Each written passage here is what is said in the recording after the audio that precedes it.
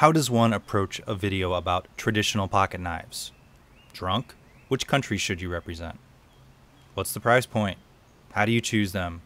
How do you keep people from bitching about not including a specific knife? Well, it's the internet, it's impossible. But let me explain my process.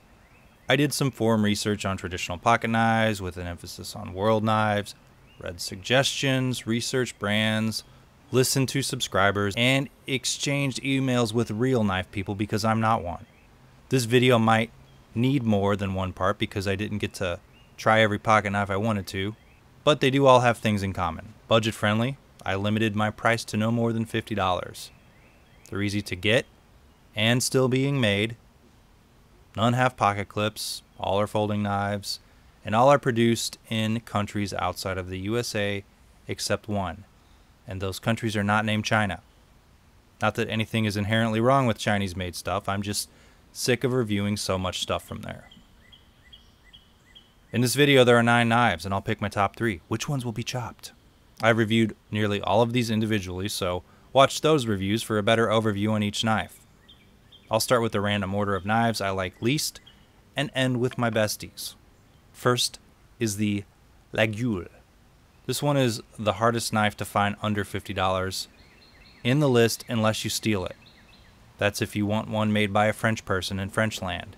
Usually, if it doesn't say France on the blade somewhere, it's probably a Chinese Laguiole. Maybe they're made by French immigrants in China. I don't know. But my particular knife is a G David, and it's tiny. It has some pretty designs on the back spring. Uh, there's a fly. I think that's a fly there. Some fancy brass liners. Sandvik steel. And I want to say olive wood handles. I bought this knife off eBay and I was expecting a larger knife. However, it was my fault for paying about $50 for a knife that didn't have a listed size and that I didn't bother to email the um, lister. I know. This knife is non-locking but has a strong back spring. I would be very surprised if I ever bought another Laguiole because the larger ones run you between 50 and $200 and are just really ornate folding knives. If you're on a budget and you want a basic tool, spending more than $50 is kind of excessive. You can get a larger one for under 50, but you gotta look. Next, the Svord Peasant. These knives are about $15 and the company was started in the early to mid 80s. They have about a 3 inch blade and probably take up more pocket room than the other knives here. The styling of this New Zealand made knife really doesn't do anything for me. It's big in the pocket, you know, for the size of cutting edge you get too. The handles can be had in many colors and materials, and even in a smaller size. The Svord Peasant is a non-locking friction folder and one of the cheapest knives here. There's nothing wrong with it, it's just not really my thing. Although the handle is comfortable and large, at least on the plastic version ones. The Higonokami, this Japanese knife comes in many sizes and several companies make higher end versions of this style knife. I paid about $25 for it and like the Svord Peasant, it's a non-locking friction folder. It's super easy to sharpen. QC isn't good though, with iffy blade centering and the handle's a little warped. And the blade can easily ding itself on the inside of the folded brass handle if you're not careful when you close it. I think it's cool looking, but a bit uncomfortable to hold. This particular knife here is the XL size, and the design dates back to the early 1900s. Check out my full review for more info. The Douk Douk like the Higonokami, this one is rough around the edges, literally. Expect some sharp handle areas and uneven paint, and it'll run you about 20 to $30 depending on what size you get. I have the smaller version with just about a 3 inch blade, however there's a 3.5 inch blade if you need something bigger, and then there's other ones with different designs on their handle if you want one that looks less evil. This is also French and made from a design that dates back to, I believe, the 1930s. You can just Wikipedia it and figure out yourself just like I did. I like the way it looks, but since I got the smaller size, I don't use it much. Also, there are better knives in this video with better fit and finish for around the same price, unless you like knives that look like they've already been used when you buy them new. Alright, so let's do two knives that aren't like my top three, but are still uh, more recommended than the other ones have been so far. We're not at the top three, but close. Next, the MAM, MAM 2043. MAM, or MAM, makes cheap knives in Portugal. Some lock, some don't. This one is a sheep's foot style blade in stainless steel. You can get regular shaped blades. if you like to. It uses a liner lock of sorts and costs an ultra cheap $12. While it is well constructed, it is a simple design and made mostly of wood. It would make a great everyday carry light use knife, but seeing as it's entirely wood handled, those knives can be harder, or I guess these knives can be harder to close when they're wet. Maybe this knife is better suited for drier conditions. How about the Opinel 8? French knife comes in many sizes, but I got the 8 because it's in the mid 3 inch blade range. The number after the Opinel uh, product name that usually refers to the basic centimeter range for the blade. So, like the 6 would be 6 centimeters, the 5 would be 5 centimeters. It has a nice, comfortable handle, and the blade can be had in stainless or carbon steel.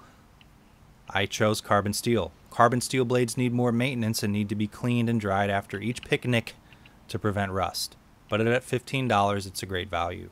The handle makes it a bit big for pocket carry because of its bulbousness, and the knife can be harder to open if it gets wet because the wood swells around the pin that the knife blade pivots on. They make a synthetic handled version if you need something for the outdoors and work around moisture like a rainy picnic. Also, this blade has a locking neck sleeve mechanism. Okay, finally my top three. First, the Spain made, the Spanish made, Cudeman Classic. This knife don't lock and is similar to the Laguiole, except it's cheaper and has less frilly shit on it. If you want something in a decent size like the Laguiole, with a good fit and finish but don't feel the need for French artisans to carve designs into the backspring, probably Chinese French artisans, buy this one. You can find one for 20 to $30 on Amazon. How about the case Sodbuster, full size CV? CV is the blade steel variety. These knives can be had in the carbon steel version, like here, or a stainless and smaller size called the Junior. I like a blade in the mid 3 inch range, I know I've said that before, and this is that. It also has a nice long comfortable handle and comes in other color and handle variation materials other than P like the color pictured here. The knife can be had for 20 to $60 or probably more depending on the trim options and sizes. This is the only made in USA knife here, and it's a reasonable price for America, you know, American made stuff. Finally, the Mercator K55K. Mercator? Mercator. Who gives a shit? You can find this knife for about $25 everywhere on the internet, unless you buy it from Best Made, who charges $42 for uh, curating it for you. Actually, that's a great idea, and if you'd like to buy this directly from me, email me, and it'll only cost you $100. Used. This knife is made in Germany and has a metal handle similar to the Douk Douk, but it's well rounded, painted evenly, and costs about the same. I like this knife the most because it feels nice in the hand, has a nice flat ground blade for slicing, and also has a picture of a cat on the side. Alright, so these traditional pocket knives are cool and fun, but come with caveats. None of pocket clips, something I kind of require in a pocket knife. I hate knives floating around in the bottom of my pockets with, you know, change and lint. There are also a bunch of knives not here. Maybe in the future, part two, I'll have something more.